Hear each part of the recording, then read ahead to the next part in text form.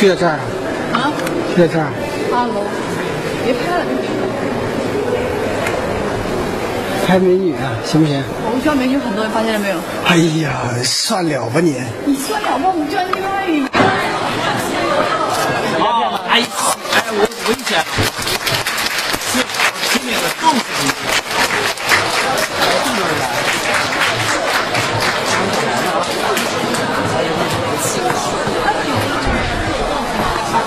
重视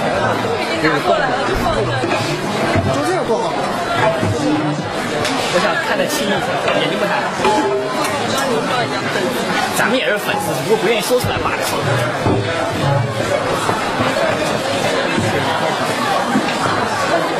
有点到到我表妹那儿坐，对吧？那儿也有桌啊。哪个是你表妹的？就是穿橘红衣服这个。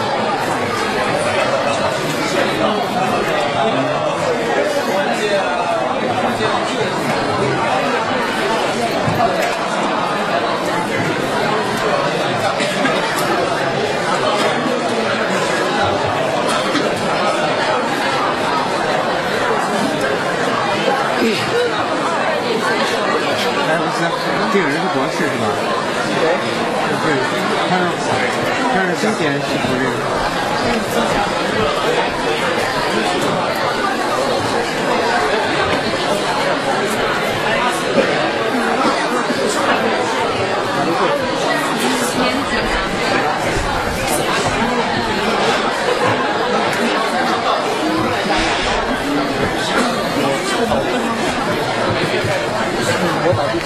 哎 哎，你在这儿，在这儿到这儿坐着来，你过来吧，先坐过来坐这儿。过来？我我我实习。今天傍晚。哎，今天早一点过。是啊，我们都来的挺早的，就没味儿了。六点，我们六点多来，有人讲不是，本来可能是一个小时有的吧。今天今天我们院长怎么过来过来晃一下？大家定一下，那个现在有个人想找贺老师分一个，可以先去找我分一个。同学，真是麻烦你，不好意思啊。我刚已经我我刚已经问过他了，对对对，我问过他了，他说可以，没没问题。我刚不信我可以。我问的了。啊啊，我已经问过他了。那你还是什么吧，还是比较别别太这样，啊，OK OK。就直接放这儿，别别好的好的。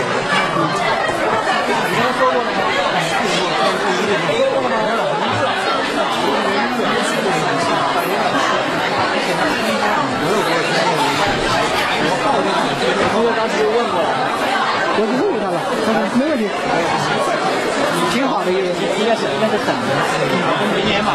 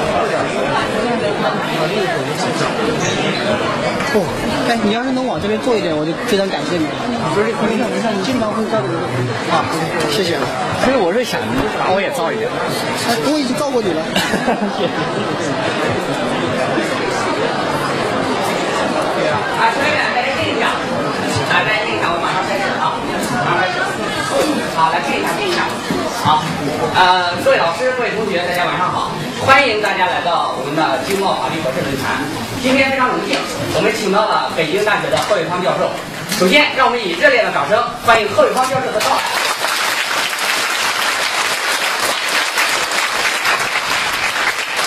今天到场的嘉宾还有吴军老师。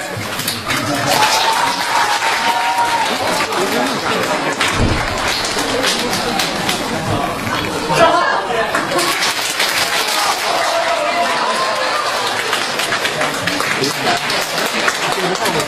啊，没有贺老师是大家非常熟悉的，在这个博客时代，如果以一个人的博客点击率作为他知名度的标志的话，那么我们贺伟芳老师博客的点击率无疑是我们法学界最高的。今天晚上我又跟贺老师核实了一下，我原来想说最高的之一，贺老师说之一就不用了。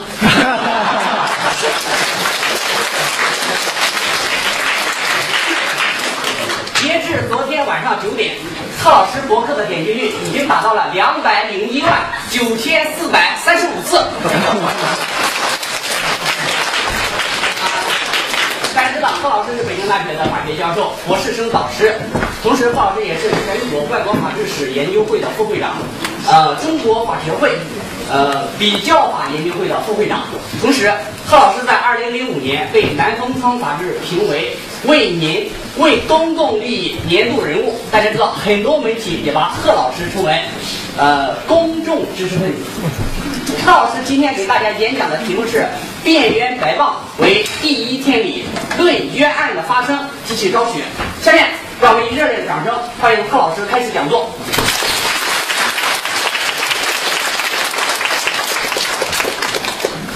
谢谢诸位，呃，尊敬的各位老师、各位同学，呃，也是有好几年没有到经贸大学来，所以这次又能够回来，感觉到很亲切。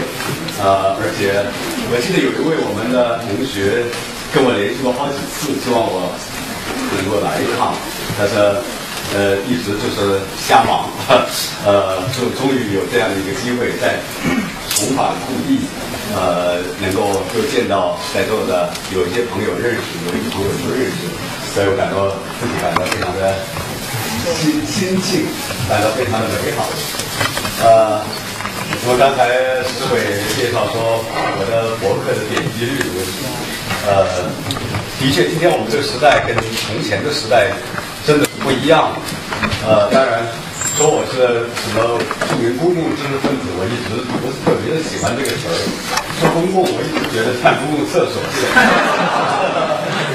呃，但是我们这个时代的确，比方说做学问的方式，同学们都有体会。现在我们有很多很多的资讯是通过网络来获取的。呃，我们也通过网络认识了许许多多的各种各样的人。我们在网上灌水。呃，有时候灌的都是纯净水，呃，整天挂在网上的同学，我是有时候注意看那个，比方说大学的那种 BBS，我发现 BBS 上面，比方说，我的定义给大学的定义都有一点变化了。我以前的定义无论有多少种，我可以下一个定义，大学就是那那种在二十四个小时。中间都有人在睡觉，但是都有人没睡觉的人，那个机构叫大学。呃，所以有许多人在网上不断的去发表一些自己的看法。呃，那么这个这个有时候当然也受到一些限制。呃，这个时代不断的存在着，我们要通过网络表达自己，与此同时。某一些个机构、某一些个人，千方百计的不让我们顺畅的表达这样的一种冲突或者矛盾。北京大学过去有一个著名的网站的一塌糊涂，啊，一塌糊涂是我自己在上面都有 I I D，呃，然后也经常在上面跟大家一块玩儿。呃，SARS 期间那段时间，我记得一切都停止了，似乎大家就在网上相互交流，因为上课的正常的时候，上课秩序也给破坏掉了。呃，然后就在网上解答同学的疑问。我在网上还跟我的同门的，我带的博士、硕士，呃，我们有一个专门的小型讨论区，叫法法法律法学的魅力，呃，就是我们的同门的这些人登录上去以后，这个讨论区就会显示出来。如果别人登录的话，显示不出来。呃，我们经常在那儿叫同学们把自己的写的那些个各种各样的类型的文章，包括我写的文章贴上去，相互交流，呃，真正是其乐融融。但是在二零零二零零四年九月十三号那样的一个灾难性的日子，我们这个一塌糊涂被宣布关站了。我就怒不可遏地写了一封公开信，致北京大学校长的公开信。我认为，作为学学校的领导，守守校有责，守土有责。我们学校的这样的一个园地是全世界的人们了解这所学校的一个非常重要的途径，是展现我们思想、展现我们观点的一个最重要的窗口。但是某些个机构居然可以不经过任何法律程序，不经过任何有效的论证，不给我们提供任何提出抗议的机会，一下子就给我们关了。我的财产也都被被损害了许多，因为在上面我贴了许多各种各样的图片儿。就是按照法律上来说的话，你这样的一种做法是完全是剥夺了我的财产，所以我希望北大的校长应该对外做出自己强有力的抗议，应该进行交涉。呃，我说这所学校其实有着非常伟大的一个自由主义的传统，你们呢要好好做，才能不辜负我们的先校长蔡元培、胡适所树立起来的伟大的风范。然后最后还此次啊崇高的学术的敬礼。然后，当然你们也知道，这种抗议是一点用都没有的，我们就永远消失了这块原地。但是这两年的博客热又又使得我们好像又找到一种表达自己的平台。我的那个博客在新浪上，呃，从去年的二月九号开始创办，呃，到现在已经是一年半，有将近两年的时间了，啊、我我自己感觉到像办了一份报纸一样，呃，有什么问题我就厦门出现了 PS 事件，我就发表文章对他们进行声援，呃，自己的给学生开的参考书目，把它挂在上面，我就不用再给大家印了，你们上去把它下载下来就可以，呃，从前还有一些个交流，啊、有讨论。我挂一篇文章，然后马上就出来有人说我抢到沙发了。我就只好坐板凳了啊。呃，然后有许多人对我的文章提出一些批评，有些批评是非常尖锐的批评，当然这都是很宝贵的。不过还是有一些批评似乎让呢新浪网感觉到非常的不安。呃，比方说在那里边对我们党、对我们国家进行一些个直率的批评。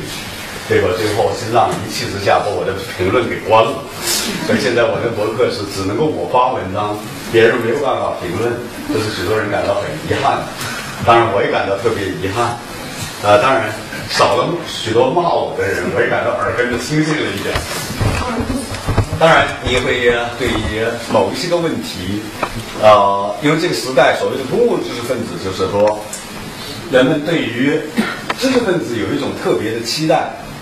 从前的所谓的象牙塔里边的知识分子，那么就是把自己完全的封闭在一个呃相对安静的纯学问构成的一种空间，在这样的一种空间里边，学者们做学问，学者们研究亚里士多德，研究亚里士多德的著作怎怎么从阿拉伯文又转换成西方的文字。这样的一种转换过程中间有怎样的一种出现了怎样的一种缺陷？呃，研究拉丁拉丁文的一些问题，在古典学，研究修辞学，研究其他种种种学问。这些个学问看起来只是注重历史的传承，我们的从前的那些个知识如何传承到我们这个时代，但是人们不大去关注发生在大学之外的那些个非常的有纷扰众生的，让大家愤怒、让大家无奈、让大家欢喜的事情。所以大学就是象牙塔，这是从前那个时代的场景，但是今天这个时代似乎。大学已经不再是一个特别象牙塔化的存在。我们都知道，大学的院墙越来越低啊，甚至大家希望把它拆掉。学者们越来越多的跟这个社会发生的某种关联，政府的权力也不断的进入到大学之中。比方说，在哈佛哈佛大学这个地方，曾经有过很大争议的一些个问题，就是大学应当不应当接受政府的资助，作为一个私立的大学。接受政府的资助去从事某些特殊的一些研究，这些个研究看起来是只是为政府服务的，这会不会损害我们学术的自治、学术的独立？这是我人们争议的一个非常大的焦点。但是今天这种争议的声音越来越少了。尽管我们可以看到，有著名的社会学家希尔斯、爱德华·希尔斯教授还在不断的呼唤着，我们要回归到象牙塔的传统。我们的大学不能够过多的去干预社会的生活，以免你干预社会，也就意味着社会有更多的机会来影响你，使得你变得越来越不像自己个人。但是，所谓形势比人强，我们这个时代没有办法去，可以说是由于教育程度的普及，越来越多的人能够进入到大学去学习。即便不能够进入到大学学习，人们也有种种途径来去享受高等教育所带来的某些好处。自然，他们也希望能够参与到大学的这样一个发展的推动中间去。民众们会提出一些许许多多的问题，希望大学的学者们进行解答。发生了九幺幺事件，我们呢许多人就会提出来，为什么会发生这样的事件？那么，伊斯兰教跟基督教之间的矛盾？会不会是一个可以解释的理由？又有人问圣战是怎么回事？为什么中国人一般的不开着飞机去撞楼，而伊斯兰教国家的那些朋友们，他们居然要开着飞机去撞楼？这真的是富于想象力的一件事情。从前电影都没有想象到这种场景，真正是任何文学的虚构都比不得、比不了现实生活来的更加生动。武器专家们会告诉说。波音飞机它带的油以后，它产生的冲力该有多大？那栋世贸大厦我是上去过，上去的时候感觉到这栋楼是多么的坚固。但是为什么会会发生这种情况？那么各种各样的问题就会被提出来，谁来解答？我自己过去在没有电脑的时代，喜欢听 BBC 这个英国广播公司的广播。我觉得 BBC 最了不起的地方就在于它能够在。发生一个事件的时候，第一时间在全世界范围内找到这个问题方面最好的专家，由他来给我们对这样的一个新闻的意义做出解读。这是今天这个时代媒体越来越发达，教育程度越来越高，越来越焕发起每个人对一个特定领域的知识的一种好奇。而这个特定领域的专家，他似乎也承担了一份责任，来向世人告诉说，我们这样的问题到底为什么会发生。今后如何去避免某些灾难的出现？我们眼前就有这样的一个灾难，那就是聂树斌案件。河北省发生在河北省的这一起，在十三年前，大家当然我不用重复详细的重复的那个他的故事的具体的情节。在二零零四年，河北省石家庄郊区发生了一起强奸杀人犯杀杀人犯罪，一位姓康的。年轻妇女被强奸杀害在一片玉米玉米地里边。那么，根据现场排查，人们发现，也许是有一个小伙子叫聂树斌的，有相当大的作案的可能。似乎那几天他又没去上班，然后就把他抓获归案。在报纸所做的报道的那个题目叫“青纱帐谜案”。其中有一段话，有一句话叫“经过一个星期的突击审查、突击突击审讯的突审，经过一个星期的突审，凶凶残的犯罪分子聂树斌终于交代了他的犯罪事实，是他杀害了康某。他当年还不到二十一岁。他说他强奸杀害了康某。他所做的，在公安部门后来的记录显示，他所做的供述跟现场所发现的情况完全一致。于是，河北省石家庄市中级人民法院判处一审判处他故意杀人、强奸罪合并执行，死刑立即执行。他不服这样的上诉判决，于是上诉到河北省高级人民法院。河北省高院经过审查，原审。证据确凿，事实清楚，好，那么维持原判，又经过河北省高院还有一个程序，这个程序叫死刑复核程序，最后确定就是他杀的人，最后就枪毙了。枪毙之后，他似乎法院并没有把判决书给聂树斌的家人。聂树斌的母亲在法一审法庭的时候曾经见过他儿子。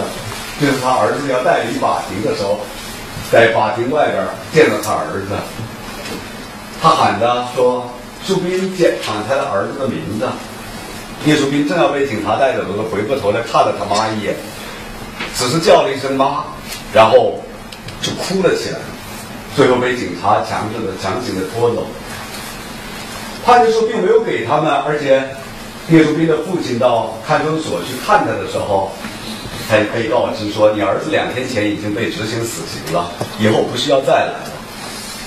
然后他们家当然最后还找到了尸体，把尸体给掩埋。二零零五年，一九九五年所发生的这些案件似乎已经尘埃落定。哎呀，谁也没有想到，二零零五年整整被执行死刑十年以后，在河南省警方抓获了一个犯罪分子。王书金先生，王书金先生呢，在向警察招供说我在现场作案的时候，还说他在他老家，也就是河北省郊河北省石家庄市的郊区，还强奸杀害了一个妇女。这个你们都不知道，一般人我不告诉他。他居然呢，招供了这一起犯罪事实，这是警方完全没有把没有掌握的犯罪。警方一听说，虽然经过了十年，但是赶快通报河北省的有关的公安部门。河北省的有关部门说，调查了一下情况，说不对呀，这起犯罪在十年前已经侦破了，凶残的犯罪分子已经交代了他犯罪事实，已经执行死刑了，怎么可能又多出一个罪犯来？于是河南省警方把这个人带过来，到现场指认。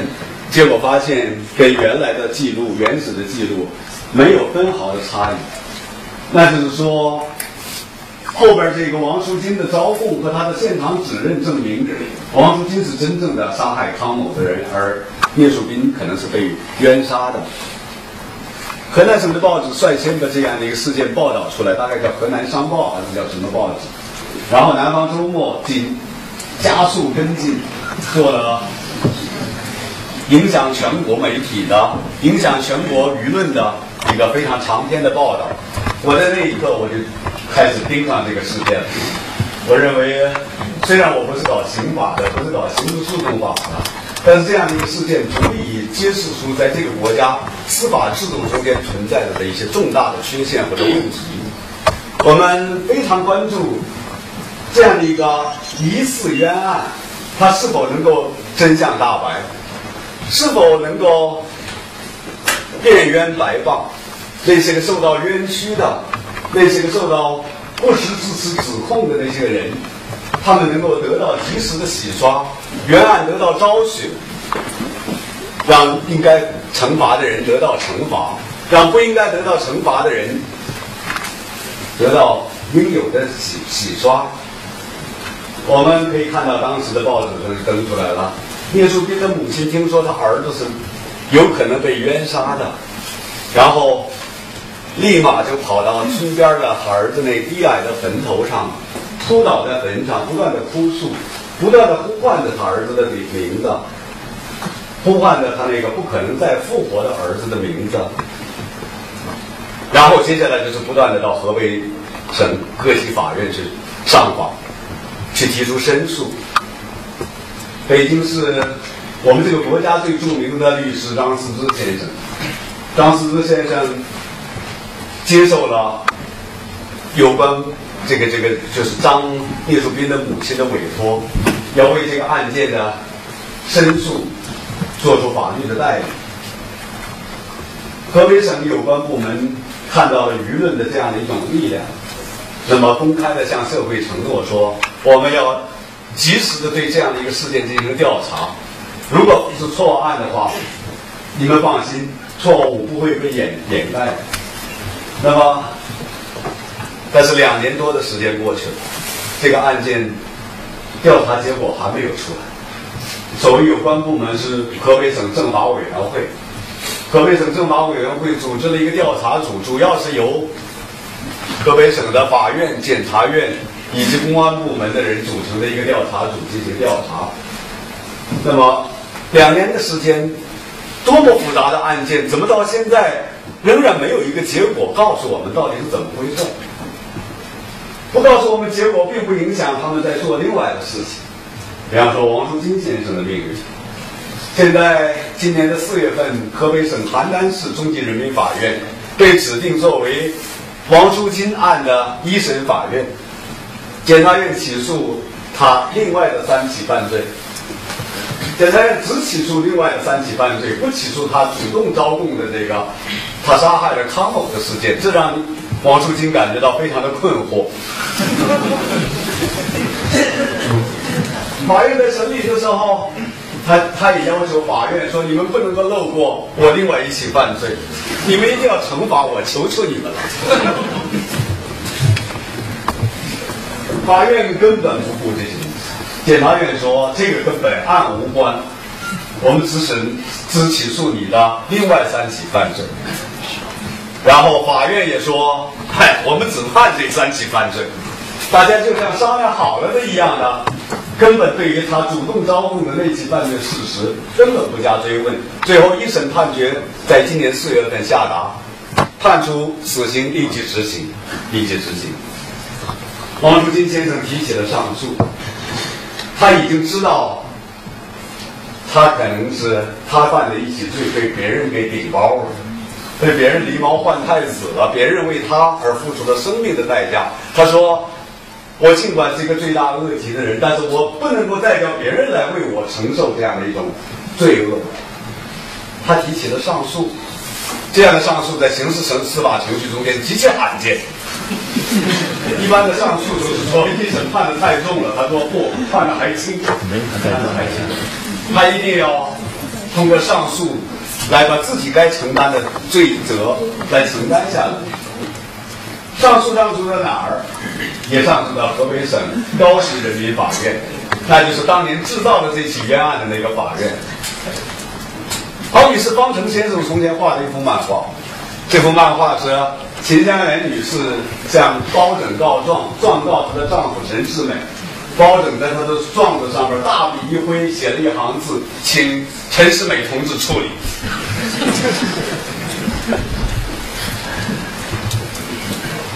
南方周末在今年的三四月份，他的记者在不断的跟踪这样的一个事件，最后发现非常的危险。他们说聂树斌案到了最危急的关头，他们必须要想方设法的把他们写的关于这样的问题的长篇报道把它发表出来。但是今年四五月份的时候，南方周末根本不敢发表这篇文章。因为要为党的十七大的召开营造和谐的啊气氛，于是这篇文章就被和谐掉了。记者的博客刊登了登出了这篇文章，我自己甚至也在博客上想链接，但最后还是没有链接成。我发现呢，敏感词的过滤制度已经让我的博客变得不那么自由了。呃，十七大开完了以后，终于他们把这篇文章发表出来了。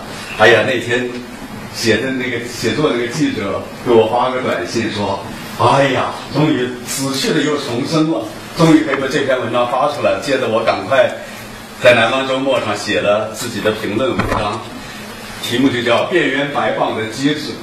我们如何去变冤白放？朋友们，大家都是学法律的，也许外经贸大学的同学学法律，不见得去将来想着去从事刑事司法工作。呃，不少朋友都会将来到什么外国的大律所啊、银行啊、呃，这个各种各样的一种，反正哪儿赚钱，哪儿有我们的身影啊。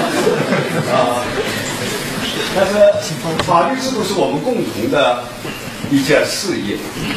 我们呢，如果一个国家的刑事司法制度是一种非常不合理的、经常制造冤案的制度，这样一种国家很难真正的建立起一种合理的法治。那么，经济贸易领域中间的法律法律体系也很难真正的合理化。所以我们说，一个国家的司法体系、法律制度，它应该是同步的，而不是说可以有一些方面非常好，有一些方面非常糟糕。这可能也是所谓的木桶理论，啊，一个木桶，一只木桶能够盛的水的多少，取决于最短的那那块木板。那么我们现在的刑事司法制度，可能是这个国家最短的木板。我们也许会脑袋梳理一下的，想象一下的，像聂树斌案这样的一种疑似冤案，它是如何发生的，而且如何不断的发生。被揭露出来的不过是冰山一角，更多的，当然我们也知道，浙江林案件，太太突然有一天他太太没了，然后就指责是他杀了。浙江林先生在监狱里边待了十年，他的太太又回来了。杜导杜杜杜杜培武先生，昆明市的一个警察。他被指责杀，指控杀害了他的妻子和妻子的上司。他幸运的不得了，大概过了八个月左右的时间，真凶落网了。最后他被释放出来。还有内蒙古的一个案件，最近也在紧锣密鼓的进行调查，或者说最高法院的官员正在进行调查，因为那个案件看起来也绝对是一起已经被冤杀了的案件。还有一些案件在不断的久拖不决，在河北省的呃那个那个那个那个避暑山庄那个城市叫什么？承德。有一天，一个出租车司机被杀掉，有四个人被指控是他们被指控是他们作案，这是已经是十年前的事情。他们倒是没有被判刑，但是到现在还没有判下来。十年的时间已经过去了，他们在不断的被。被指控是杀人犯，法院审理证据不足，又退回侦查，补充侦查，检察院补充侦查，检察院再退回到公安局，公安局再再回过头了到检察院，检察院再起诉到法院，法院再说证据不足，不确凿，已经十年的时间过去了，天哪，我们还不知道这个人，这人也许是无辜的，但是实际上我们已经判了这四个人十年有期徒刑，已经执行了十年了。到底有多少冤狱？多少事情？按照蒲松龄在他的小说里边所说的那个话，叫“覆盆之下多沉冤”。一个没有良好司法体系的国家，就像是一个大黑盖子一样的，硬扎扎实实的盖在我们的头顶上。下边的冤屈有许多东西是暴露不出来的。我们又没有新闻自由的制度，所以弊端、社会中间的问题。根本没有办法得到完整的揭露，但是即便是这样，已经被揭露出来的问题，已经是让人感觉到触目惊心。我们搞法律的人，还能够容忍这样的一种不断产生冤狱的制度吗？我们如何去改进它，去减少它发生冤案的可能性？到底从哪些个角度去思考？我想，我们今天晚上，也许大家可以一起来考虑一下的，哪些因素在造成这些个东西、这几个冤案的不断的发生？首先，可能我们想得到的是刑讯逼供的问题。刑讯逼供，所有这些冤案几乎都跟刑讯逼供有密切的关联。有最让人疑问的是说，你你你你自己犯了罪你就承认，你自己没犯罪你就不承认。为什么你浙江林先生你要承认是你你杀害了你的太太？你为什么会承认？浙江林呢那年到北京来，他已经被释放了。然后《新京报》庆祝他们创办一周年，然后因为《新京报》为他的事情做了跟踪的报道，然后专门在创办一周年的这个大家的这样的一个庆典上面，请来了他们所报道的案件的一个当事人，然后浙江林先生说还要跟我见个面，呃，跟贺教授见个面，因为他看到我又为他的案件写过一些东西，跟我见面的时候。盛香林说：“贺老师啊，受不了，受不了。当你被折磨的生不如死的时候，只想赶快点反正大不了是一死，你赶快承认了，别折磨我了，最后一枪给我打死算了。我我我我不受这个折磨。”他给我看他的手，他的手一个手指头没了。他说：“贺老师，这是打没的。”我不敢去见太到到这样的一个房间，光线太强烈，我受不了。他说连着四五天这么打，连着四五天，强烈的光刺刺着你不让你睡觉，受不了，人是受不了。于是就说啊，对，行了，你你叫我说什么我就说什么。有许多这样的一种所谓最后说经核查口供。啊，与案件实勘查结果无疑，这种说法其实是胡说八道，因为他先把那个现场给描述好了，回过头来呢，告诉说，你看，我告诉你怎么说，你骑自自行车走到哪儿去，遇到一个什么人，穿着什么衣服，都是根据当时现场的情况，呃，在描述，在记录，那不是一样的吗？那肯定是核查无疑。我想，这个刑讯逼供。古往今来，有许多人进行过谴谴谴责，像我们熟悉的贝卡利亚对刑讯逼供进行了谴责，展现了一个伟大的人道主义的那种感人的心灵。法国著名作家蒙田曾经说过一句话，很巧妙的话，说刑讯逼供不足以考察事实案件的真相，只足以考察一个人的忍耐力。你能忍的人不说实话，不能忍的人说的不是实话，横竖的不是实话。那么，当然能够忍耐的人，那就像我们想起革命烈士江吉，你是打吧啊，砍头只当风吹帽，你打我。所以说不出实话来，不能忍的人屈打成招，说的不是实话。当然，这样的一个说法。仅仅是说说对了一半儿。每一个从事过、了解法律操作的人都会知道，其实刑讯逼供的确是许多案件得以侦破的关键的途径，或者说方式。他侦破了许多案件，许多真凶因为刑讯逼供的方式，不得不招供，不得不说出来他的犯罪事实。的的确就是他犯的罪。这样的，我想从概率上来讲，可能这样就能够占更多的比重。所以刑讯逼供应当谴责的，不是因为他笨拙，在任何时候都没有办法去揭示案件事实的真相，而是说刑讯逼供，他侵犯了人的尊严，他显示了一个国家、国家政府在犯罪的这样的一种情况，用犯罪的方式来去侦破犯罪，这是绝对不容许的。与任何所谓罪大恶极的罪犯相比较，政府都是更加可怕的罪犯。政府的犯罪得到了放纵，政府用恶的方式来去治恶，这是绝对不容许的。一个法治国家，一个注重人道主义的国家，是绝对不容许的一种情况。但是我们现在在这个地方，似乎还是一个屡屡发生的情况，甚至有一些个学者还在为他辩护。说我们现在的科学技术的情况，刑讯逼供也是可以理解的，啊等等，我觉得这是不能够容许的。如何去遏制刑讯逼供？我相信有许多办法。现在，比方说，逐渐的开始有一些改进，啊，例如呃，刑预审的过程全程录像。全程录像，这个录像要作为一个资料，作为一个证据，这作为一个材料加以保存。那么全程录像当然有助于减少这种情况发生，但是最怕的是一会儿录一会儿不录，那就那就比较麻烦，比较麻烦。那么律师的提前介入，也许是一个非常重要的途径。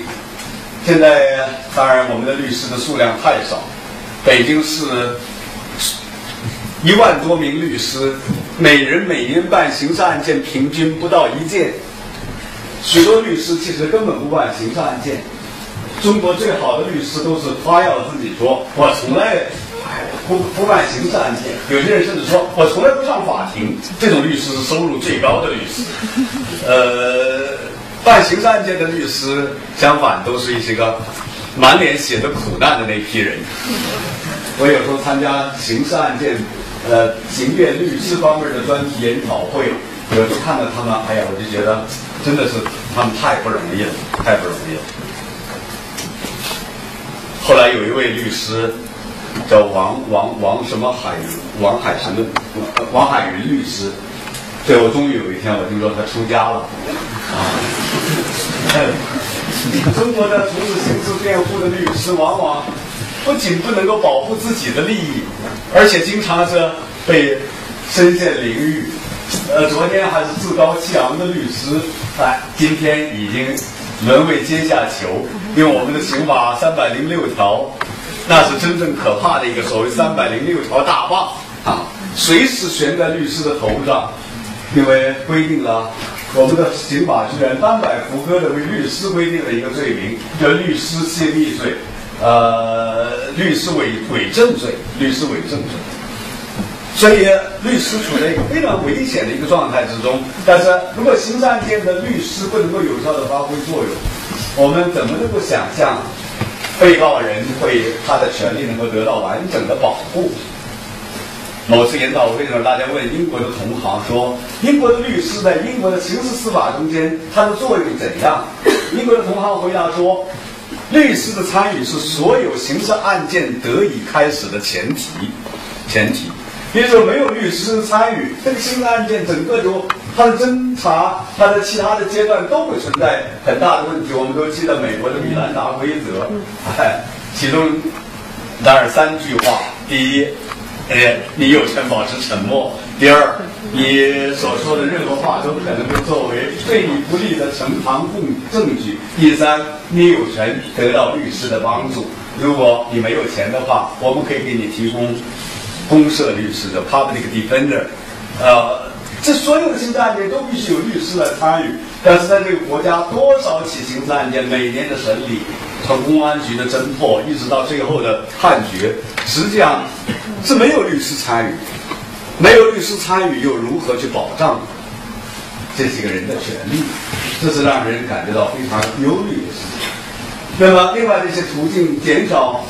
刑讯逼供的途径，我觉得是减少羁押的时间，减少羁押的时间。人身保护让、人身保护状或者人身保护令制度，这从西方国家的发展历史来说，是对于制约国家权力、制约、减少可能的对于被告人的违法行为、刑讯行为的最有效的办法，就是不允许公安部门把一个人关的时间太久。在那个里边关的时间太久了，一定会发生一些外边的人所不知晓的一些个事情。那么关于这个问题，当然刑事诉讼法、刑事诉讼法学家已经写了不少文章，就呼吁，这是全世界没有哪个国家像中国，你一旦被采取强制措施以后，在通向法院的道路上，你要经过如此漫长的时间，甚至可以一会儿到了时间再。延长，因为情况特殊，所以一年两年的这样的一种关押的时间。当然，我们还有其他的类型的关押，不是由执法机关和司法机关，那是由咱们党来进行的。党的纪律检查部门的双规，双规。听说双规现在的刑讯逼供也是很厉害，也是不让睡觉，而且现在的刑讯逼供巧妙到身上一点伤都没有，但是你已经不成了。那么还有些办法是。如何能够要让让这个整个的这样的一个过程被展现出来，那就是其实是另外的几个东西，就是比方说新闻自由啊，包括这些东西。这些东西当然多多少少超出了我们的今天的这样一个讨论的话题，但是它仍然是一个国家它的司法制度得以健全的前提条件。当然，司法制度内部还有一个制度，我刚才一下子脑子有点儿呃有点儿这个这个短路，呃，那就是证据证据方面的一种排除制，排除违法所获得的证据。我们刚才提到米兰达规则，当年美国的米兰达先生也恰好是强奸杀人，警察呀警察，他在逮捕的时候就忘了说刚才那三句话，结果米兰达在司法的过程审理的过程中间，向法官告诉法官他没有得到有关权利的一种告知。法官一听到这样的一个说法，当然得到证据证明是这样的时候，就坚决排除掉一切对他犯罪事实加以指控的可能的证据，他的招供完全不能被接受。于是，米兰达先生就大摇大摆的走出了法庭，他变成了无罪的人。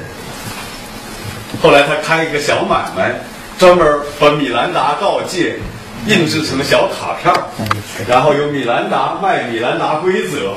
哦，这种生意做的还不错，大家都请他签个字，看米兰达先生卖的这个小卡片儿。当然，再过了一段时间，他就在一个酒馆喝酒的时候，跟另外的一批人械斗，最后被对方一枪给打死。大家说，哎，冥冥之中还是有一种力量在。你不能够想象，人的力量能够创造出一种完美无缺的社会。我们有时候经常是在两种价值之间取舍，那就是对犯罪进行有效的惩罚，和对国家权力进行一种严格的限制。这两者之间是有一种价值的取舍。我们没有办法说两全其美，什么事情都能够做得最美好。我们只能够是，你要是牺牲掉对于国家秩序、国家权力、国家权力的限制这个价值，那么对犯罪可能进行一种特别严厉的打击。但是另外一方面，这样的一种情况，你可能的代价很大，因为国家的权力几乎到了一种张牙舞爪、非常可怕的程度。那么，我们需要在这样一个价值做出取舍的时候，就要反思我们的法律制度、法学界经常所提到的那些个口号，比方说，呃，我们过去对刑讯逼供，我们说刑讯逼供，如果获得的证据是能够证明案件事实的，法院应该采纳。但是与此同时，按照实事求是的原则，我们也应该对那些个行搞从事了刑讯逼供行为的警察进行一种惩罚。这是哎，两边都要做到完美无缺，这是这是典型的所谓实事求是原则。但是，正如中国人民大学门口也写了个“实事求是”那四个大字啊，那块大石头上写的四个大字，毛泽东的手书“实事求是”。大家说到了中国人民大学，你或者说右倾，从右边走，或者左倾，从左边走，也就是不能实事求是，否则你就会撞在石头上，撞个头破血流。所 以我们的司法制度的领域中间，要注意的是，我们不能够寻求这样的一种完美无缺，我们一定要做到一种有所得必有所失。我们要得什么失什么，这一点非常非常要紧。在我看来，我们应该追求那种更多的说，我们是应该宁愿放纵一千，绝不错杀一个。我们宁愿对于国家的权力进行一种看起来过于严厉的严格的限制，而应该避免那样的一种情况发生，就是警察的权力过分的膨胀，而到了一种没有办法去对于，呃，就是说不断的制造冤狱这样的一种情况，这损害的是整个国家的一种尊严，损害的是国家的一种最根本的使命。所以我想，刑讯逼供是不是我们经常可以看到他制造冤案最严重的地方？这一点来说的话，我们必须要考虑到这个国家整体的一个趋势来看，警察的权力似乎在最近这些年来有一种越来越提升的一个趋势，而不是越来越减少的趋势，这是值得我们警惕的。从最高层来说，警察部门的首长居然可以成为中央政治局委员、书记处书记、中央政法委常务副书记。周永康同志到最高法院去叫视察工作，肖扬院长向周永康同志汇报工作。没有哪个法治国家会叫一个警会叫一个最高法院的首席大法官向警察头子汇报工作。我们这样的一种政治体制的安排，上行下效，下边儿公安部门的首长往往都是同级党委的常委，而法院的院长、检察院的检察长还常委，连委员都不大可能是。所以谁要是当了常委，那个院长啊，大家就不叫他什么张院长、李院长，叫他张常委、李常委，因为要凸显他的一种跟别的院长不同的地位。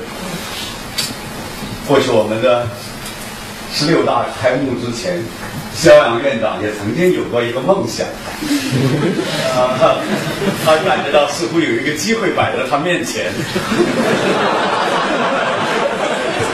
他觉得是不是能够再再升一步，上升到中央政治局委员，中央政治局委员？哎呀，大家也觉得应该差不多吧，因为在那之前。好像江泽民有一次接见中国法学会代表的时候，曾经表达过一个意向，说是，哎呀，我跟外国的领导人见面，他们动不动就是学法律出身的。你看这个这个这个克林顿学法律的，布莱尔学法律的，克林顿他老婆也是学法律的，布莱尔他老婆也是学法律的，他们两家在一块儿可以开法学研讨会。啊。然后普京学法律的，啊，南美的哪个学法律的？德国的总统学法律的，阿扁也是学法律的。哦，学法律的人太多了。后来他说是，我们国家看起来呀，也要考虑今后是不是能够一些学法律的人能够进入到政治的最高层，而不是都是我们这种工程师。哎呦，法学界的人呐，真是分斗相告。开心的日子终于要来来到，但是看起来希望很渺茫。十六大最后开了，肖扬没上得去，听说很郁闷，然后到中国人民大学的大法官论坛上去发表一番讲话。没有那番讲话，我觉得讲得很好。说中国的司法制度存在的最严重的问题就是啊，法官选任方面的大众化。啊，司法权力配置方面的这个这个这个这个行政化，呃，然后是呃还有一个什么地啊对，司法权力配置方面的地方化，法院内部管理的行政化，这三化，我说的很到位。当然，也就是说，再往上上没希望了，才会说点真话。我我我想，我我记得我大学的时候，我从来没有查考过这句话呢。呃，到底是不是真的？大读大学的时候，我们老师说过一句话：什么叫专制？专制就是警察的无法无天和人民的普遍无权，这叫这就叫专制。我们说一个国家警察和军队的他们的政治地位的高下，是跟一个国家的民主程度成反比的。他们的地位越高，一个国家民主程度越低。呃，像缅甸，哦，都是军人在统治，这种国家很恐怖。啊，我们隔壁那个巴拉巴基斯坦，哎，这个这个这个谢里夫是沙里夫啊啊，穆萨穆萨拉夫啊，这都都都是军人，军人在统治。一个国家政治舞台上，军人的太过活跃，一定是不好的。为什么西方的，你像北约国家，国防部长都是文官，国防部长没有建议军人，全部都是文官。要文官来控制武武装力量，这是一种合理的制度，而不是反过来的，啊，用枪杆子来指来来来控制我们，呃，文文官集团，这是这是一个考察的标准。那么，警察权力过大，警察过分的不受法律的规范的约束，那么它必然会导致在刑事程序中间在刑讯逼供泛滥的问题。这是第一个方面，我们可以考虑到。第二个方面，我想我们的证据制度、证据法是不是有一些方面是值得我们去反思的？那就是说，如何去在保证刑事程序中间，让证人能够出庭作证，让证人出庭作证，他又必须说真话，让律师真正能够想方设法的把这些个伪证在法庭上加以揭露。一个国家的整个的司法程序是否足够合理，直接决定案件中间的事实问题是否能够得到有效的查证。早在英国著名的法学家布莱克斯通那个时代，他就发现，在法庭上发生的争议中间，百分之九十以上的争议都是因为事实方面的争议，只有百分之九，他说百分之九十九都是事实争议，只有百分之一是涉及到法律方面的争议。我们看到最近的一些个事实争议，哎呀，我觉得这些个事真有意思。比方说，啊、这除了聂树斌以外，但这也是个事实问题。比方说，呃，华南虎事件，哎呦，我已经彻底晕掉了。我最近这个华南虎事件，我不知道到底是怎么回事儿，他怎么？这到底是真的是假的？这个周正虎先生、周正龙先生。啊，周正龙先生越来越坚定的认为他是真的，他拍的他就是拍看到老虎，然后呃陕西省林业厅的朋友也非常坚定的支持。啊，对他表示安慰，你受委屈了，全国人民都在委屈你。然后另外一方面，我们在网上看到的消息，哎呦，网络上面藏龙卧虎，高人如林啊、拿给你个怎么 PS 出来的这个照片儿啊，这个啊，后来突然在浙江发发现了这个这个老虎的原型，就是年画，一张年画上的老虎。哎呀，有一天我在北太平庄一带吃饭。吃饭在那个雅间，突然看到雅间挂了一幅中国画大老虎的中国画，我赶快拿出随身身带的相机拍了一张，然后在我的博客上发表了一篇文章。我在北京发现了老虎。哎呀，我说地点时间十一月四号下午七时三刻左右，地点北京市海淀区北太平庄一带，然后在这真的是霹雳一声震天响，山间跳出兽中王，当时就有一只大老虎来到我的面前，说时迟那时快，赶快掏出相机拍下来，然后特别在此发表，以便北京市有关部门向有向上级申请，将海淀区列为动物保护区的这个。我们说这事实问题，呃当然这个事实太容易看，因为大家一看就知道那是中国画的那个那个那个画画笔都能看得清楚。但是周正龙先生显然比我高明多了，他可能是那幅中国画就挂在那个树后边儿，然后就把它拍下来，然后四十多张照片，老虎的姿势一点都不动。啊，李昌钰先生昨天发表看法，啊，著名神探李昌钰说，这样的一个季节，山里边肯定有老虎的地方，有许多苍蝇啊、虫子什么东西。老虎保持你拍四十多张照片，老虎一动不动。我觉得只有情人之间才可以这么所以，越来越扑朔迷离了。我们不知道真相到底在哪儿，谁告诉我们真相？当然有有一有一，哎呀，最近还有什么？哦，广州发生了一起警察被一个医生给打死的事件啊。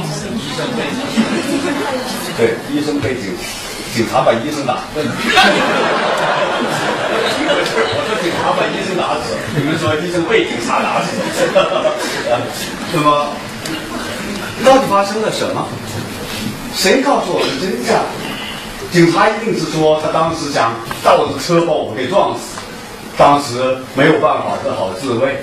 但是医生，医生已经死了，他说不出真相了。那当然，好在旁边有一个证人，那位那个被打死的医生的朋友在旁边，他告诉他出来只说一句话说：“这位尹先生没有任何过错，没有任何过错。啊，谁能够帮我们揭露起这样的一个事件的真相？法庭有的经常被用于这种揭露事实真相，法庭是揭露事实真相比较有效的方地方，但是一定要注注意到，它的程序必须是合理的，有助于案件事实真相的揭露。比方说，证人相关的证人必须到法庭上来作证，必须去接受法庭上律师的询问。美国的司法制度里边有最突出的，这也是英国制度的特点，那就是询问中间的交叉询问。直接询问、交叉询问，直接询问是询问自己本方的证人，我带来的证人当然是有利于我的，但是对方的律师会再质疑我方证人，就说这叫交叉询问。有的时候这样的一个询问技术已经发达到一种特别令人震惊的程度，以至于有许多人觉得美国的律师那种在法庭上那样的一种咆哮。那样的一种恐怖的那种场景，真正是让人觉得，呃，有点过，有点过。他们有许多也受到一些个特殊的心理学的训练。那怎么去做案件的证人，让证人来说出真话，真话，以便使得自己本方的利益得到最大限度的保护。证人呢，有些时候他会说假话。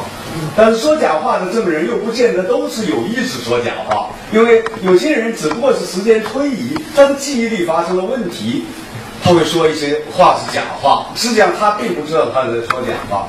但是分明还是有一些人，他会明明知道他是在说假话，但是仍然要在法庭上说假话，是因为他拿的某些人的好处。当然，有时候证人跟案件的当事人是合二为一的。这个时候，对证人的询问直接能够决定，可以说对这个当事人利益的一个直接的影响。那么说假话的人，他会有一些个异常的表现。我们古代的周礼之所以在说听玉颂的时候以五声听玉颂，那你要听他的气喘气，你要看他的脸色，你要看他的表情，你要看他各种各样的一种神气。这样的话才能够综合性的判断这个人说的真话或者假话。说假话的人，他会有时候会显得过分的呃不大不大那么那么那么那么自然。说假话的人肢体会不合理的扭动。说假话的人，他有时候会怕你看你的眼睛。为什么有一些律师一定要走到你面前说：“袁海星先生。”你看着我的眼睛回答，哦，还有时候他说假话，真的很敢看你的眼睛。因为看眼睛的话，真的是直逼人的心灵。有些人他会说出，突然说出一些个跟他的教育背景和人生经历似乎距离遥远的一些个知识。没有当过兵的人突然说出一串只有当过兵的人才会那么娴熟的运用的军事术语。说假话的人有时候会说的太过流畅，以至于像背诵提前准备好的东西。我们过去这个国家有一些领导人汉语说的不大好，哎呀，他们讲话的时候，我们总在下边捏一把汗，千万别说错，别说错。果然又说错了啊！那什么，中国和英国关于香港问题谈判的责任。主要在英方，呃，主要在中方，主要在中方。哈，海峡两国，他怎么直接说海峡？有时候啊，越他自己越害怕说什么，他就越说什么。但我跟现在的领导人说话真的不一样。你看锦涛同志讲话，你看他当着很多人的面，十六大权力交班以后，他来到大大家的面前。然后站在话筒前，没有拿一张纸讲稿，然后给大家，哎呦，那那段话那么长的话，一个磕巴都没打，一个多余的字都没有，你把它记下来，第二天你看《人民日报》，你再对着录像看，一个字都不差。哎呦，我觉得真厉害啊，真是厉害啊！但是你仔细看他的眼神你就知道背下来。现场随机的给大家讲话，那是非常好的。景涛同志年轻的时候，清华大学文工团成员，你们知道，就是做演员在台上，那要背台词儿的，所以这点基本功还是有啊。有时候我发现他的老老老乡家包饺子说的话都是提前备好的话，啊，他他都不容易提前背，他有上下句啊，互相对呀、他他就能够提前背好这种话，啊，这这也是特别特别神奇的一件事情。